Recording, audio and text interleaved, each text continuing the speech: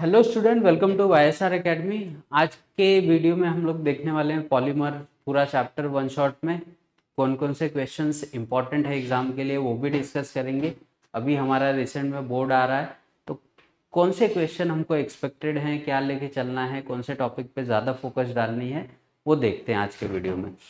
तो अगर हम लोग चैप्टर्स की बात करें तो जो हमारा चैप्टर है, ठीक है, पॉलीमर की अगर हम लोग बात करें तो पॉलीमर देखो पॉलीमर जो वर्ड है, ये खुद दो अलग अलग वर्ड से बना हुआ है। पॉली, जिसका मतलब होता है बहुत सारे, और मेरोस का मतलब होता है पार्ट्स जो अलग अलग पार्ट्स से कंबाइन करके बनता है, उसको हम लोग पॉलीमर बोलते हैं। हमारी डेली लाइफ सराउंडेड है इन पॉलीमर से। जैसे कॉटन हो गया नाइलॉन हो गया रबर हो गया सिल्क हो गया पॉलिस्टर हो गया पॉलीथीन हो गया। ऐसे बहुत सारी चीज़ें हैं, जिससे हम लोग डेली लाइफ में डील कर रहे हैं, जो हमारी लाइफ को लगातार ईजी बनाते आ रहे हैं। इन चीज़ों को हम लोग क्या बोलते हैं? पॉलीमर्स बोलते हैं। चलो नेक्स्ट अभी इंट्रोडक्शन की बात अगर हम लोग करें तो पॉलीमर एक रिपीटिंग यूनिट होती है। एक छोटी सी यूनिट होगी जो बार बार अपने आप को रिपीट करके एक पॉलीमर बना रही है। ठीक है? तो जो उसकी स्मॉलेस्ट रिपीटिंग यूनिट है उसको हम क्या बोलते हैं? मोनोमर बराबर? जो स्मॉलेस्ट रिपीटिंग यूनिट है वो हमारे पास क्या होती है? मोनोमर और जो मल्टीपल यूनिट्स उनकी जो बनी होती है, आपस में जुड़ के थ्री डायमेंशनली उनको हम लोग क्या नाम देते हैं? पॉलीमर्स और मोनोमर से जो पॉलीमर बनने का प्रोसेस होता है, उस प्रोसेस को हम क्या बोलते हैं? पॉलीमराइजेशन देखो कैसे। Mono monomer is a smallest unit जैसे अगर एक एग्जांपल लेके चले तो जैसे इस स्ट्रक्चर को हम क्या बोलते हैं? इथीन बोलते हैं राइट अब इसको अगर मैं पॉलीमराइज कर दूँ पॉलीमराइज का मतलब क्या होता है? कि इसी यूनिट को अगर हम लोग बार बार ऐड कर दें तो वो हमारे पास पॉलीमर बन जाता है। अब ये इथीन था बट पॉलीमर बनने के बाद इसी को हम क्या बोल रहे हैं? पॉलीथीन बहुत छोटा सा एग्ज़ाम्पल है जो हम डेली लाइफ में यूटिलाइज कर रहे हैं पॉलीथीन को। समझा? The smallest unit of polymer is called monomer and the multiple unit of monomer is called polymer and the process in which polymer gets uh, monomer gets converted into polymer is polymerisation ठीक है? तो ये छोटा सा example देखो, जैसे छोटी छोटी यूनिट्स हैं, ये आपस में जैसे कंबाइन कर जा रही है तो इन्हीं को हम क्या बोलने लगते हैं? पॉलीमर ये छोटी यूनिट्स है, इन्होंने अपने आप को एक लाइन से अरेंज कर लिया दैट इज़ पॉलीमर ठीक है?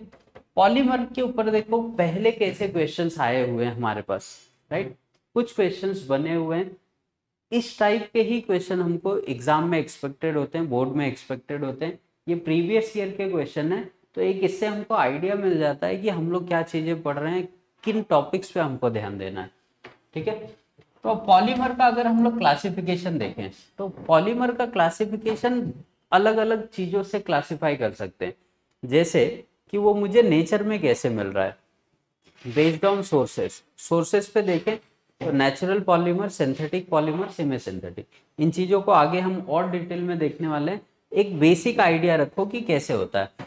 अगर हम लोग पॉलीमर को based on monomer unit divide करें तो उसमें होमोपॉलीमर हो सकते हैं और हेट्रोपॉलीमर हो सकते हैं। बेस्ड ऑन मॉलिकुलर फोर्स अगर करें तो इलास्टोमर फाइबर थर्मोप्लास्टिक और थर्मोसेटिंग ठीक है? बेस्ड ऑन पॉलीमराइजेशन प्रोसेस देखें तो एडिशनल पॉलीमर और कंडेंसेशन आगे की वीडियो में हम लोग कम्प्लीटली इनको डिस्कस करेंगे। फ़िलहाल एक बेसिक आइडिया रखो कि हमको चैप्टर में पढ़ना क्या है। Classification of polymer based on sources sources मतलब कि हमको वो नेचर में कैसे मिल रहा है, किस तरह से ऑप्टेन हो रहा है। मैंने क्या बोला कि कोई भी पॉलीमर या तो हमको नेचुरली मिल सकता है। नेचुरल पॉलीमर हमारे पास क्या है? जैसे कॉटन है जूट है सिल्क है वूल है, ये ये हो गए। सिंथेटिक पॉलीमर क्या होते हैं? जैसे नाइलॉन है, टेरिलीन है, ये पूरा सिंथेटिकली इंडस्ट्रीज़ में प्रिपेयर किया जाता है। सेमी सिंथेटिक पॉलीमर क्या होते हैं? जैसे रेयन है, सिल्क है, कुछ आर्टिफिशियल सिल्क आते हैं जिसपे कुछ प्रोसेसिंग के बाद हम लोग यूटिलाइज कर पाते हैं तो उनको ये सब टाइप से क्लासीफाई कर सकते हैं। नेक्स्ट क्लासिफिकेशन हमारे पास आता है, देखो, इन्हीं चीज़ों को डिटेल में दिया गया है तो यहाँ से हम लोग अपने आंसर्स एक्सपेक्ट कर सकते हैं। कि अगर मान लो कि नेचुरल पॉलीमर लिखना है तो हम लोग कैसे लिखे क्या क्या एग्ज़ाम्पल लिख सकते हैं? तो ये कुछ नोट्स हैं जिसको आप लोग प्रेफर कर सकते हो। फ़िलहाल तो बेसिक आइडिया हमारे पास है कि ये चीज़ें होती क्या हैं। नेक्स्ट पे चले। तो क्लासिफिकेशन बेस्ड ऑन स्ट्रक्चर अगर हम पॉलीमर को उनके स्ट्रक्चर के अकॉर्डिंग अरेंज करें तो उनके स्ट्रक्चर के अकॉर्डिंग अगर हम लोग अरेंज करते हैं तो उसमें लीनियर पॉलीमर हो सकते हैं ब्रांच पॉलीमर हो सकते हैं और क्रॉस लिंक पॉलीमर हो सकते हैं, ठीक है? लीनियर पॉलीमर क्या होते हैं? ऐसे पॉलीमर जो एक लाइन से स्ट्रक्चर में जुड़े होंगे। ब्रांच पॉलीमर क्या होते हैं? जिनके स्ट्रक्चर में ऐसे हमको ब्रांचिंग देखने को मिलेगी, बराबर? और क्रॉस लिंक पॉलीमर क्या होते हैं? ऐसे पॉलीमर होंगे जो दो अलग अलग पेरेंट चेन के बीच में क्रॉस लिंकिंग करते हैं, ठीक है? जैसे ऑक्सीजन सल्फ़र नाइट्रोजन जैसे जब एटम आते हैं तो वो इस वाली चेन को भी लिंक करते हैं और इसको भी करेंगे। तो जिससे पॉलीमर में स्ट्रेच करने की एबिलिटी आती है तो जनरली रबर वगैरह में हमको क्रॉस लिंकिंग स्ट्रक्चर देखने को मिल जाते हैं। आगे चले तो लीनियर पॉलीमर को कैसे एक्सप्लेन करना है ब्रांच को कैसे लिखना है और क्रॉस लिंक पॉलीमर को कैसे लिखना है, ये देखो यहाँ पे नोट्स है। ये फॉर्मेट हम लोग प्रेफर कर सकते हैं बोर्ड्स में आंसर्स लिखने के लिए। नेक्स्ट पे चले। Classification based on polymerisation right polymerisation process के ऊपर से मैंने क्या बताया कि एक एडिशनल पॉलीमर होते हैं, दूसरे हमारे पास क्या होते हैं? कंडेंसेशन पॉलीमर अब देखो कैसे लिखते हैं इनको। एडिशनल पॉलीमराइजेशन और चेन ग्रोथ पॉलीमराइजेशन और दूसरा इसी में हमारे पास क्या है? कंडेंसेशन पॉलीमराइजेशन फ़र्क क्या है दोनों में देखो। अगर हम लोग बात करें कि एडिशनल और कंडेंसेशन पॉलीमर क्या होते हैं तो एडिशनल पॉलीमर ऐसे पॉलीमर होते हैं जिनके बनते टाइम कोई भी बाई प्रोडक्ट रिलीज़ नहीं होता।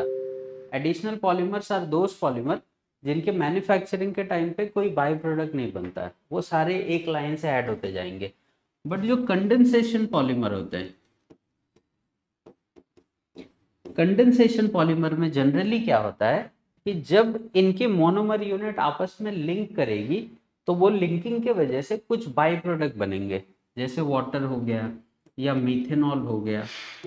अगर कोई भी पॉलीमर देख रहे हो, अगर उसके बनते टाइम कुछ रिलीज़ नहीं हो रहा है तो that is additional polymer but अगर उसके बनते टाइम कोई बाई प्रोडक्ट भी बन रहा है तो उसको हम लोग क्या बोलते हैं? कंडेंसेशन पॉलीमर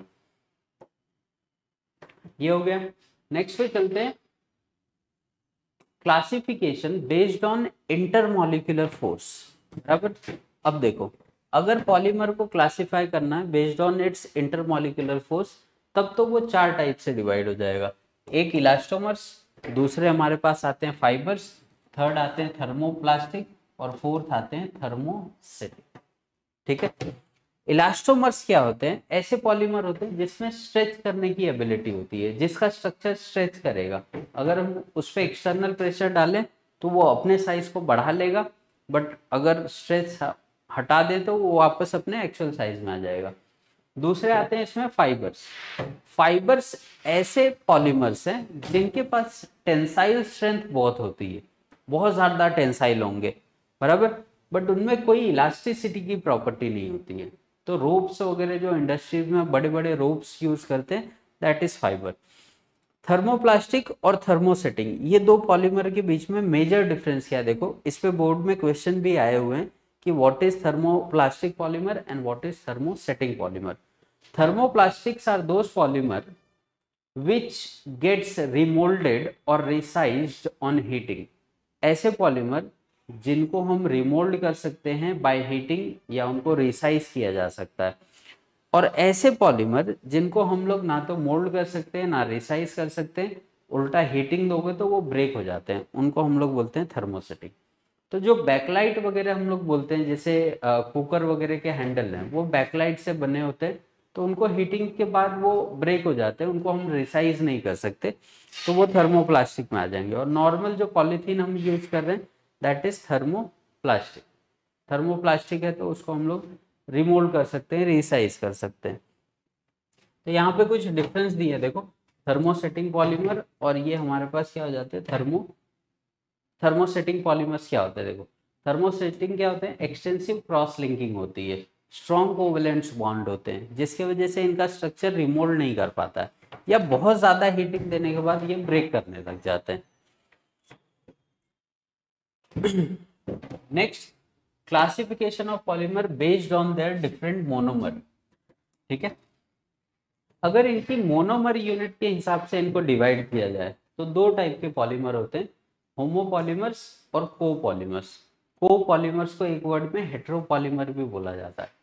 मान लो कोई पॉलीमर चेन है, और उसकी मोनोमर यूनिट सारी सेम है, एक जैसी मोनोमर यूनिट है तो ऐसे पॉलीमर को हम लोग क्या बोलते हैं? होमोपॉलीमर्स ठीक है? ऐसे पॉलीमर जिनकी मोनोमर यूनिट क्या है? एग्जैक्टली exactly सेम है. दैट इज़ मोनोमर होमोपॉलीमर्स और ऐसे पॉलीमर जिनकी मोनोमर यूनिट अलग अलग है, एक दूसरे से डिफरेंट है तो उनको हम लोग क्या बोलते हैं? या तो कोपॉलीमर बोलेंगे, या तो हेट्रोपॉलीमर बोलेंगे. ये डिफरेंस आ जाता है. नेक्स्ट पे चलते हैं। क्लासिफिकेशन बेस्ड ऑन बायोडिग्रेडेबिलिटी अब पॉलीमर तो बहुत सारे बनाए जा चुके हैं। इंडस्ट्रीज़ जनरली बहुत सारे पॉलीमर प्रोड्यूस कर रही है। बट उसमें से भी कुछ ऐसे पॉलीमर हैं जिनको अगर हम लोग नेचर में डाल दें तो वो डिकम्पोज हो जाएँगे। कुछ ऐसे पॉलीमर भी हैं जिनको फेंकने के बाद वो डिकम्पोज नहीं करते हैं। तो based on बायोडिग्रेडि degradability we have two polymers that is biodegradable polymer and non biodegradable ठीक है? तो कुछ आगे के चैप्टर में हम लोग कुछ एग्जांपल्स भी देखेंगे, उनको बनाते कैसे हैं, उनकी मोनोमर यूनिट क्या होती है, ये सारी चीज़ें डिस्कस करेंगे। प्लस कौन से पॉइंट्स इंपॉर्टेंट है वो भी देखते हैं। ठीक है? क्लासेस ऑफ़ पॉलीमर तो कैसे हमने क्लासीफाई किया अभी तक? Based on sources based on structure based on molecular force based on polymerisation process based on monomer unit and biodegradability तो क्लासिफिकेशन जब एग्ज़ाम में आएगा तो वो तुमको सारा क्लासिफिकेशन एक बार में नहीं पूछेगा। वो सिर्फ़ बोलेगा classify polymer based on polymerisation process तो हमको खाली ये दो पार्ट लिख के ख़त्म करना है, ठीक है? बेस्ड ऑन इंटरमोलिकुलर फोर्स बोलेगा तो ये चार टाइप बेस्ड ऑन स्ट्रक्चर बोलेगा तो ये तीन टाइप ठीक है? कभी भी क्लासिफिकेशन पूरा एक साथ में नहीं देगा हमको। नेक्स्ट पे चलते हैं। नेचुरल रबर ठीक है? अब हमारे पास कौन कौन से पॉलीमर है वो देखते हैं राइट तो सबसे पहले आता है हमारे पास नेचुरल रबर नेचुरल रबर जो होता है, ठीक है? नेचुरल रबर हमको कहाँ से मिलता है? तो सबसे पहले देखो नेचुरल रबर हमको ट्री से मिलता है in the form of latex right जो रबर ट्री होता है उस पर जब कट करते हैं स्टेम पे तो वहाँ से कुछ लिक्विड निकल के आता है, जिसको लेटेक्स बोला जाता है। तो इस लेटेक्स में ये स्टिकी होता है सॉफ्ट होता है, इसको हम लोग डायरेक्टली यूज़ नहीं कर सकते। तो हम क्या करते हैं, इसको वोल्कनाइज करते हैं। वोल्कनाइजेशन एक रबर का प्रोसेसिंग यूनिट है, जिसमें नेचुरल रबर को प्रोसेस किया जाता है, उसकी इलास्टिसिटी या अदर फ़िज़िकल प्रॉपर्टी को इंक्रीज करने के लिए। तो हम लोग इस लेटेक्स में सल्फ़र ऐड करते हैं, उसको 100 से 150 डिग्री पे हीट करते हैं और हमारा जो एक्चुअल रबर है वो ऑप्टेन होता है, जिसको हम लोग यूटिलाइज करते हैं। इस मेथड को चार्ल्स गुडियर ने डेवलप किया था राइट तो इस मेथड को वोल्कनाइजेशन ऑफ़ रबर बोला जाता है। The process which is particularly use to increase the tensile strength, stability, liquidity and other physical property of natural rubber. Is called vulcanization. तो रबर की अब मोनोमर यूनिट क्या होती है? जो नेचुरल रबर होता है उसकी मोनोमर यूनिट को हम आइसोप्रीन बोलते हैं राइट और ये हमारे पास आइसोप्रीन का स्ट्रक्चर है। देखो इस आइसोप्रीन का आईयूपीएसी नेम लिखूं तो मैं क्या लिखूँगा? Two methyl buta one three di ये इसका आई नेम है। अब ये यूनिट क्या होती है? बार बार लिंक करते जाती है। इसका डबल बॉन्ड यहाँ से ब्रेक होगा और ये आगे वाली यूनिट को कनेक्ट कर जाएगी। तो एक मोनोमर यूनिट बार बार कनेक्ट करते जाती है तो हमारा नेचुरल रबर क्या होता है? ऑप्टेन हो जाता है यहाँ से। नेक्स्ट पे चले। Reaction involve in the formation मैंने क्या बोला कि ये जो डबल बॉन्डेड मॉलिक्यूल है, ठीक है? ये शिफ्ट कर जाते हैं आगे की तरफ़। ये आगे की तरफ़। यही से ये रिंग क्या हो जाती है? कंबाइन होने लगती है। ये यहाँ से पॉलीमराइज होगा, ये यहाँ से। तो ये जो कार्बन पे सिंगल बॉन्ड था, वो किसमें कन्वर्ट हो जाते हैं? Double bond. तो प्रॉपर्टीज़ देखते हैं नेचुरल रबर की क्या क्या प्रॉपर्टीज़ है। डेली लाइफ में हम लोग रबर यूज़ कर रहे हैं, क्या प्रॉपर्टीज़ हैं, क्या यूजेज हैं। इन सारे टॉपिक्स पे क्वेश्चन कम एक्सपेक्टेड होते हैं। जनरली मैन्युफैक्चरिंग मोनोमर यूनिट पे ज़्यादा क्वेश्चन आएँगे। तो ये जो पार्ट्स हैं इस पर अगर हम लोग कम भी ध्यान देंगे तो हमारा काम चल जाएगा। यूजेज वगैरह वगैरह उतना नहीं पूछते। वुल्कनाइजेशन ऑफ़ रबर अभी मैंने बताया कि वुल्कनाइजेशन क्या होता है। वुल्कनाइजेशन एक प्रोसेस है जिसको चार्ल्स गुडियन ने आ, ये किया था बनाया था जिसमें नेचुरल रबर को आर्टिफिशियल रबर में कन्वर्ट करते हैं by the addition of sulphur and heating at 1 ATM and 100 to 150 centigrade क्यों करते हैं? टेंसाइल स्ट्रेंथ को बढ़ाने के लिए अदर फ़िज़िकल प्रॉपर्टी अपेयरेंस को बढ़ाने के लिए, क्योंकि नेचुरल रबर हमारे काम का नहीं है, उसको हम लोग डायरेक्ट यूज़ नहीं कर सकते। ठीक है? तो वुल्कनाइजेशन पे हमको नोट आ सकता है, ये छोटे मोटे पॉइंट्स है जिसपे मल्टीपल चॉइस क्वेश्चन आ सकते हैं कि क्या ऐड करते हैं, कितने ऐड करते हैं, कितने अमाउंट में सल्फ़र ऐड करते हैं। तो जैसे जैसे हम लोग सल्फ़र का अमाउंट बढ़ाते जाते हैं, उसकी टेंसाइल स्ट्रेंथ वगैरह बढ़ती जाती है। जैसे टायर्स हैं फिर नॉर्मल इरेजर हैं, उनमें सल्फ़र का कंटेंट डिफरेंट होगा, अलग बिहेव करेंगे वो। तो पॉलीमर देखते हैं पॉलीमर्स की मैन्युफैक्चरिंग कैसे होती है? सबसे पहला पॉलीमर है हमारे पास पॉलीथीन राइट इसको मैंने पहले भी डिस्कस किया। जैसे इथीन का मॉलिक्यूल है, इसको अगर हम लोग ऑक्सीजन या पेरोक्साइड के प्रेजेंस में इतने टेम्परेचर पे और इतने प्रेशर पे ट्रीट कर दें तो ये लो डेंसिटी पॉलीथीन बनाना स्टार्ट करता है राइट लो डेंसिटी पॉलीथीन मतलब जो प्लास्टिक वगैरह हैं छोटे मोटे राइट बॉटल्स हैं, ये सब पाइप्स वगैरह जो हैं, वो इनसे बनती है, जिनको हम लोग लो डेंसिटी पॉलीथीन बोलते हैं। बट इसी का अगर मैं टेम्परेचर प्रेशर बदल दूँ, अलग टेम्परेचर प्रेशर पर ट्रीट करूँ तो ये मिलके बनाते हैं हाई डेंसिटी पॉलीथीन ठीक है? सेम मोनोमर यूनिट है अलग टेम्परेचर है, अलग प्रेशर है, क्या बना रहा है? High density polythene high density polythene generally क्या होते हैं? जो टॉयज वगैरह या ड्रम्स वगैरह बनाने के लिए केमिकल कंटेनर्स बनाने के लिए यूज़ किए जाते हैं। इनको बोलते हैं हम लोग हाई डेंसिटी पॉलीमर मतलब हाई टेम्परेचर पे मेल्ट होगा मेल्टिंग पॉइंट ज़्यादा होगी बॉइलिंग पॉइंट ज़्यादा होगी। नेक्स्ट पे आते हैं। ये कुछ बोर्ड के क्वेश्चंस हैं प्रीवियस ईयर के, जो एक्सपेक्टेड है हमको इस साल भी मतलब इन्हीं से रिलेटेड क्वेश्चन आते हैं। मैंने जनरली चैप्टर के स्टार्टिंग में बोला कि जो प्रिपरेशन के मेथड हैं, उस पर ज़्यादा चीज़ें आएँगी। यूजेस प्रॉपर्टीज़ वगैरह इस चैप्टर से काफ़ी कम आते हैं तो उनको थोड़ा कम भी रेफर करेंगे तो चल जाएगा। ठीक है? तो ये सारे टॉपिक हम लोग आगे की वीडियो में डिस्कस करने वाले हैं कि कैसे मैन्युफैक्चरिंग होती है, क्या मोनोमर यूनिट लेना है, देखते हैं। अब देखो, ये सब भी क्वेश्चन है। प्रीवियस ईयर में मैंशनड है। इवन ऑर्लॉन और टेफ्लॉन के जो टॉपिक्स हैं, वो बहुत बार एग्ज़ाम में आए हुए हैं। फिर यहाँ पे देखो टेफलॉन नाइलॉन सिक्स ये कुछ ऐसे पॉलीमर्स हैं जो बार बार रिपीटेडली एग्ज़ाम में पूछे गए हैं।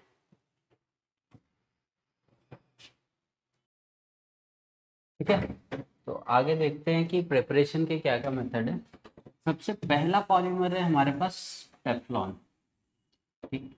देखो टेफलॉन कैसे बनाते हैं? टेफ्लॉन की एक मोनोमर यूनिट होती है C F two double bond C F two जिसको हम लोग ऐसे भी लिख सकते थे एक्सपांड करके अगर हमको लिखना है तो हम लोग ऐसे भी लिख सकते हैं इसको राइट तो इसका जो एक्चुअल नेम है, वो क्या हो जाएगा? One one two two tetrafluoroethene बराबर? ये जब बार बार पॉलीमराइज होगा पॉलीमराइजेशन प्रोसेस में जब जाएगा तो इसके जो एन यूनिट्स हैं, ये डबल बॉन्ड ब्रेक होगा, ये चेन यहाँ से कंटिन्यू हो जाएगी, ये यहाँ से। और ऐसा कुछ स्ट्रक्चर हमको देखने को मिलता है। तो इसको टेफ्लॉन बोलेंगे।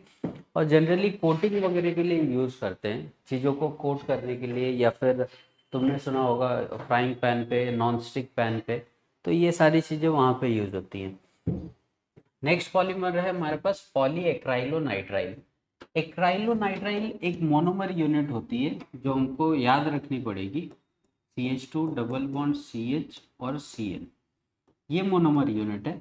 जब ये पॉलीमराइज होगी तो इसका ये डबल बॉन्ड हटेगा और ये यहाँ से ऐसे कंटिन्यू हो जाएगा।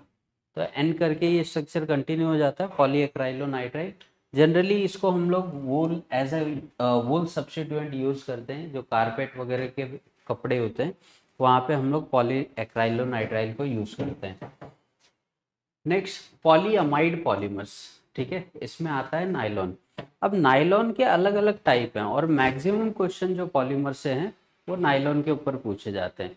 तो नाइलॉन में स्टूडेंट बहुत कंफ्यूज होते हैं क्योंकि उसके प्रिपरेशन का मेथड थोड़ा सा अजीब है। तो एक ही वीडियो में मैं सारा नाइलॉन के सारे प्रिपरेशन बता देता हूँ कि वो कैसे दिखेंगे हमको। देखो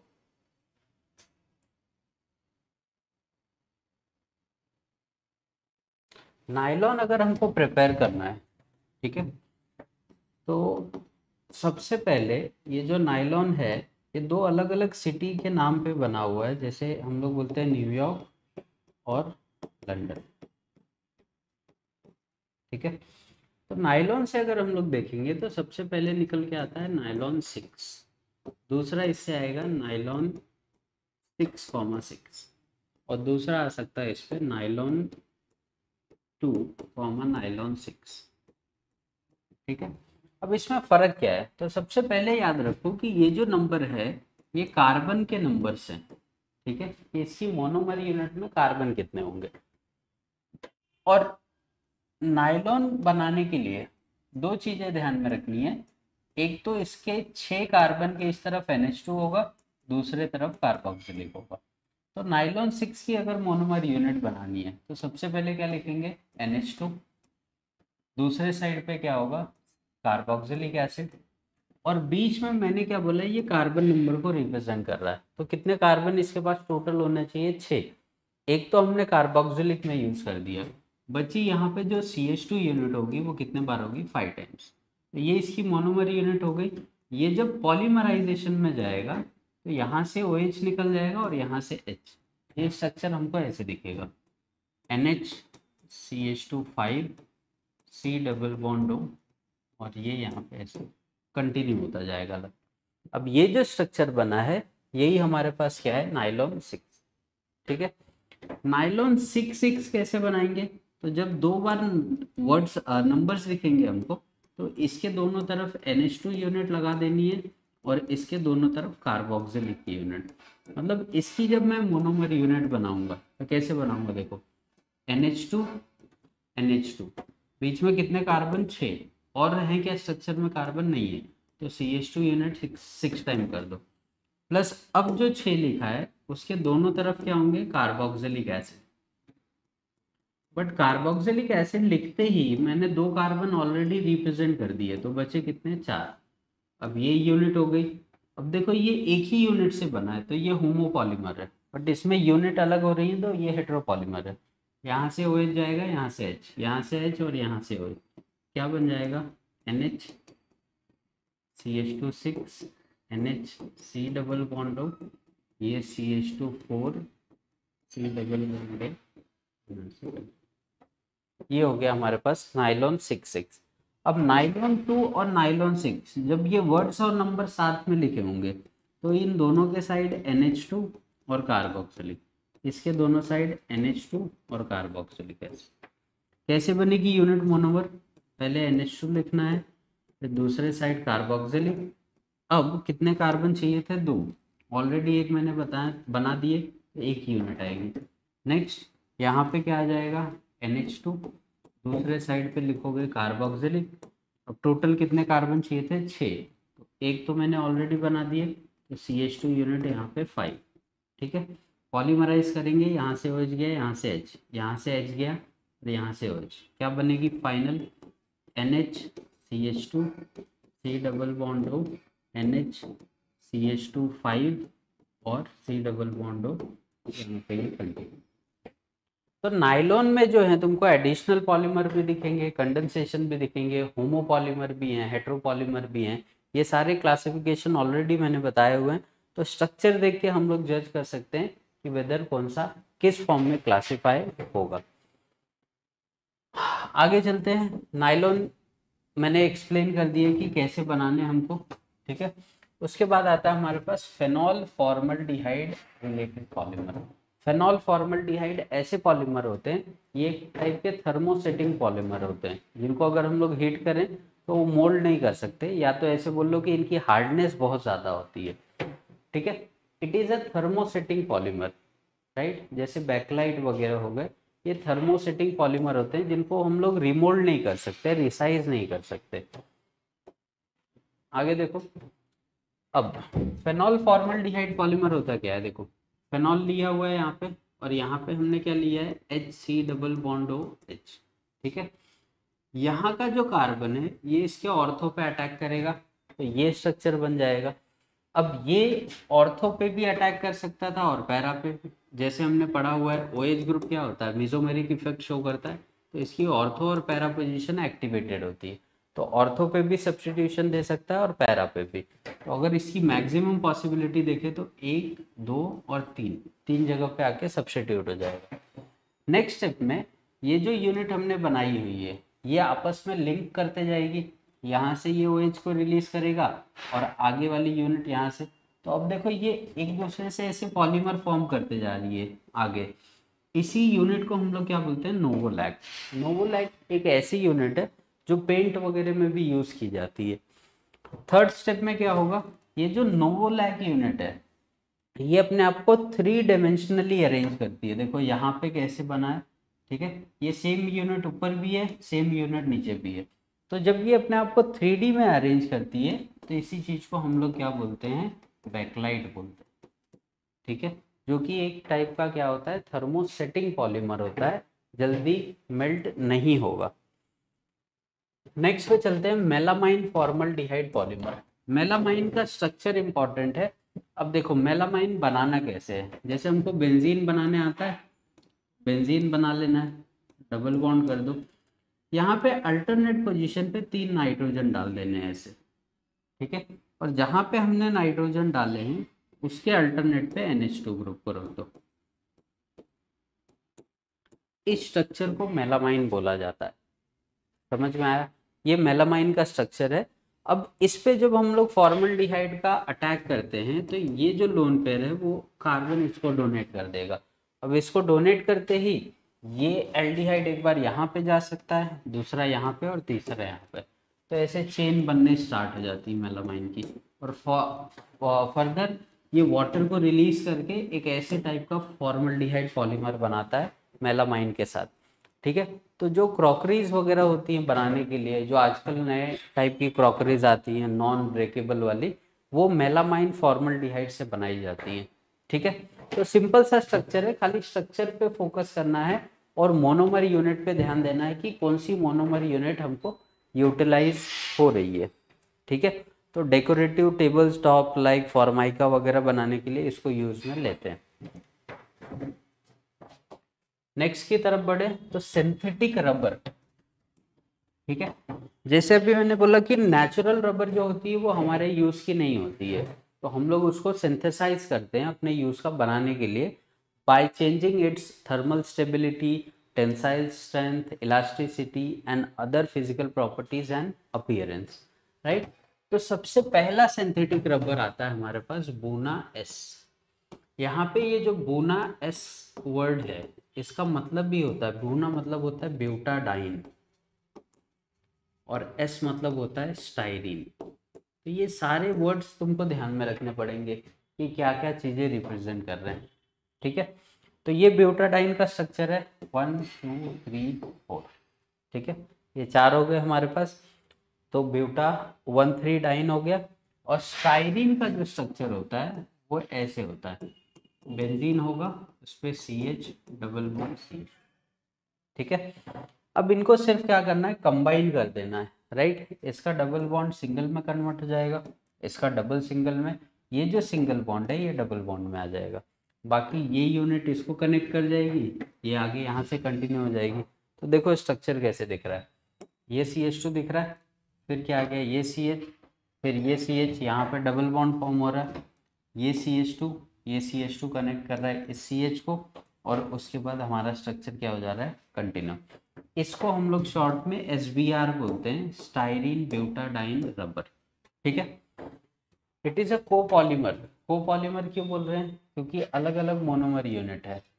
ठीक है? ब्यूटाडाइन और स्टाइरिन की। It is a superior natural rubber with the regards of mechanical strength and used as resistance hence it is used in tyre industry तो जनरली टायर वायर बनाने के लिए हम लोग बुना एस रबर को प्रेफर करते हैं। नेक्स्ट रबर की तरफ़ चलते दैट इज़ नियोप्रीन अब नियोप्रीन क्या होता है? जैसे आइसोप्रीन हमने रबर की यूनिट देखी थी, वैसे ही होता है क्लोरोप्रीन ठीक है? क्लोरोप्रीन को अगर मैं बार बार पॉलीमराइज करूँ तो दिख रहा है ये जो डबल बॉन्ड है, ये कन्वर्ट हो जाएँगे सिंगल में, और यहाँ पे सिर्फ़ क्या डालना है? डबल बॉन्ड ये दिख रहा है C H two C L यहाँ पर डबल बॉन्ड आ गया और ये। तो जो क्लोरोप्रीन होता है, उसी को अगर हम लोग बार बार पॉलीमराइज करें तो इसी स्ट्रक्चर को हम क्या बोलते हैं? Neoprene it is the first synthetic rubber and also called duprene ठीक है? It is a condensation polymer of chloroprene right vulcanisation of neoprene takes place in presence of magnesium oxide अब ये जो प्रोसेस चल रहा है उसमें हम लोग कैटलिस्ट क्या ले रहे हैं, वो इम्पोर्टेंट है। तो मैग्नीशियम ऑक्साइड का यहाँ पे कैटलिस्ट किया जाता है। हमको एग्ज़ाम में ये स्ट्रक्चर बनाने की ज़रूरत नहीं है, बिल्कुल नहीं है। ये स्ट्रक्चर्स नहीं आएँगे तुमको। हमको अगर नियोप्रीन पे नोट लिखना है तो सिर्फ़ कौन से पॉइंट मेंशन करने हैं कि क्या मोनोमर यूनिट लिया है हमने, क्या कैटलिस्ट लिया है। प्रिपरेशन के बाद वो पॉलीमर हमको कैसे विजिबल होगा। ठीक है? नेक्स्ट है हमारे पास विस्कस रेयन रेयन को कैसे बनाते हैं? रेयन क्या हमारे पास? देखो सेल्यूलोज सेल सेल्यूलोज जो होता है पल्प का, उसको एन से ट्रीट करते हैं तो वो अल्कली सेल्यूलोज फॉर्म करता है ओएनए के साथ, जैसे हम लोग कोलबेज रिएक्शन वगैरह में पेरोक्साइड लिंकेज बनाते थे, उसके बाद फर्दर ट्रीटमेंट के बाद, वो हमको ऐसे टाइप का कुछ स्ट्रक्चर बना के देता है रेयॉन्स वगैरह पे बहुत कम क्वेश्चन आए हुए हैं तो ये चीज़ अगर हम लोग नहीं भी प्रेफर करते हैं तो भी चल जाएगा। मैक्सिमम क्वेश्चन तुमको इस चैप्टर से नाइलॉन पे मिलेंगे। दूसरा हमारे पास synthetic rubber vulcanisation of rubber और नेक्स्ट हमारे पास आता है क्लासिफिकेशन ऑफ़ पॉलीमर तो ये कुछ ऐसे टॉपिक हैं जो बहुत ज़्यादा इंपॉर्टेंस नहीं है। नहीं भी एक्सपेक्ट नहीं भी पढ़ के जाते हैं तो कोई खास फ़र्क नहीं पड़ेगा। प्लस इनका जो स्ट्रक्चर्स होता है, वो थोड़ा कॉम्प्लिकेटेड होता है। तो इनका जो फाइनल प्रिपरेशन है, वो हम लोग देख के जा सकते हैं। ठीक है? ये एक बार रिवाइज कर लेंगे हम लोग कि फाइनल स्ट्रक्चर इसका कैसे दिखता है। बाकी यहाँ से कोई इंपॉर्टेंट टॉपिक नहीं है, कुछ पढ़ने की ज़रूरत नहीं है। Molecular mass and degree of polymerisation of polymer तो मॉलिकुलर मास क्या होता है? मॉलिकुलर मास का मतलब क्या है? ये जो हम लोग पॉलीमर पढ़ रहे हैं, ये मैक्रो मॉलिक्यूल्स है। बहुत छोटे छोटे मॉलिक्यूल्स होते हैं जो एक रिपीटिंग पैटर्न में जुड़े होते हैं। तो मैक्रो मॉलिकुलर मास जैसे जैसे बढ़ेगा, ठीक है? अगर मैं मॉलिकुलर मास बढ़ा रहा हूँ, इसका मतलब क्या है कि हम लोग उसकी डेंसिटी को इंक्रीज कर रहे हैं और वैसे वैसे पॉलीमर की स्ट्रेंथ क्या हो जाती है? बढ़ती जाती है। तो जैसे जैसे मॉलिकुलर मास बढ़ेगा डिग्री ऑफ़ पॉलीमराइजेशन बढ़ेगी प्लस उस पॉलीमर की जो स्ट्रेंथ है, जो टेंसाइल स्ट्रेंथ है इलास्टिसिटी है, उसमें भी हमको कुछ अलग प्रॉपर्टी देखने को मिल जाती है। नेक्स्ट कुछ बायोडिग्रेडेबल पॉलीमर है। अभी थोड़ा टाइम पहले हम डिस्कस कर रहे थे कि बायोडिग्रेडेबल पॉलीमर्स क्या होते हैं। ऐसे पॉलीमर होते हैं जो नेचर में डिकम्पोज होने की टेंडेंसी रखते हैं। क्योंकि हमारे पास बहुत सारे ऐसे पॉलीमर हैं जो डिग्रेड ही नहीं करते। जैसे नाइलॉन हो गया टेरिकॉट हो गया, ये ऐसे पॉलीमर है जिनको अगर नेचर में डाल दिया जाए तो वो एज इट इज़ पड़े रहते हैं। तो कुछ ऐसे भी पॉलीमर बनाए जाते हैं इंडस्ट्री में जो डिग्रेडेबल हो, डिग्रेड हो सके। तो उनको हम लोग क्या बोलते हैं? Biodegradable polymer. इसमें पहला एग्जांपल आता है हमारा P H P B. Poly beta hydroxy butyrate को बीटा हाइड्रोक्सी वेलरेट ठीक है? अब इसमें जो मोनोमर यूनिट यूज़ हो रही है, वो इंटरेस्टिंग है, वो ध्यान में रखनी है हमको। इसमें एक यूनिट यूज़ होती है, बीटा हाइड्रोक्सी ब्यूटेनॉइक एसिड, इसको हम लोग बीटा हाइड्रोक्सी ब्यूट्रिक एसिड बोलो या ब्यूटेनॉइक एसिड बोलो। एक ये लिख सकते हैं। दूसरा, इसको हम लोग बीटा हाइड्रोक्सी पेंटेनॉइक एसिड भी लिख सकते हैं। या इसी को वैलेरिक एसिड। इसमें कुछ करना नहीं है। ये एसिड है, ये बेसिक पार्ट है इसका। यहाँ से H प्लस निकला, यहाँ से OH निकला, इसको निकाल दो यहाँ से ओ OH गया, यहाँ से एच निकला, इसको निकाल दो और बाकी यूनिट को हम लोग क्या कर देते हैं, इसे कनेक्ट करते हुए आगे चल जाते हैं राइट तो ये वाटर को रिलीज़ करता है बनते टाइम इस वजह से इसको हम लोग क्या बोल सकते हैं कंडेंसेशन पॉलीमर भी बोल सकते हैं, बराबर? ये हमारे पास है। नेक्स्ट है हमारे पास नाइलॉन टू नाइलॉन सिक्स ठीक है? Nylon two nylon six it is a biodegradable polymer nylon का ही एक टाइप है। अब मैंने क्या बोला था यूनिट में? नाइलॉन टू नाइलॉन सिक्स बनाना है। तो इसके एक साइड पे क्या रखेंगे? एन एच टू एक साइड पे कार्बोक्सिलिक एसिड इसके भी एक साइड पे एन एच टू और एक साइड पे कार्बोक्सिलिक एसिड बाकी पॉलीमराइज कर देंगे वाटर रिलीज़ करेगा और उसके बाद ये मिल जाएगा हमको। ठीक है? तो कॉमर्शियली इंपॉर्टेंस कुछ पॉलीमर्स हैं जो कॉमर्शियली यूज़ किए जाते हैं। ये हमको ध्यान में रखने हैं इनके कॉमन यूजेस जैसे परफेक्स एक्राइलिक ग्लासेस हैं, इनकी मोनोमर यूनिट ये है, देखो, ठीक है? बोना एंड रबर है हमारे पास। पॉलीविनाइल क्लोराइड्स है। उसके बाद पॉली एक्ट्राइलोमाइड्स है। यूरिया फॉर्मल डिहाइड पॉलीमर्स है। ये कुछ ऐसे हैं जैसे ग्लिप्टल वगैरह के यूज़ हमको एग्ज़ाम में आ सकते हैं कि कहाँ पे यूज़ होता है। कैसे यूज़ करते हैं हम लोग, ये कुछ पॉलीमर हैं जो हमको ध्यान में रखने पड़ेंगे। तो बाकी पॉलीमर में ऐसे कोई बहुत ज़्यादा इम्पोर्टेंट चीज़ें नहीं हैं बट जहाँ तक मैं आपको बताऊँगा कि कौन से क्वेश्चन प्रिपेयर करने हैं तो पॉलीमर से सबसे पहले क्लासिफिकेशन प्रिपेयर करो नाइलॉन्स प्रिपेयर करो, उसके बाद रबर्स के जो टॉपिक्स हैं और एक बायोडिग्रेडेबल बाकी बीच में कुछ इंपॉर्टेंट उतने ज़्यादा टॉपिक नहीं है, उनको हम लोग स्किप कर सकते हैं। तीन मार्क का चैप्टर है इजीली स्कोर कर सकते हैं तीन या चार टॉपिक पढ़ के, ठीक है? तो मिलते हैं नेक्स्ट वीडियो में, नए वीडियो के साथ, ठीक है? तब तक के लिए थैंक यू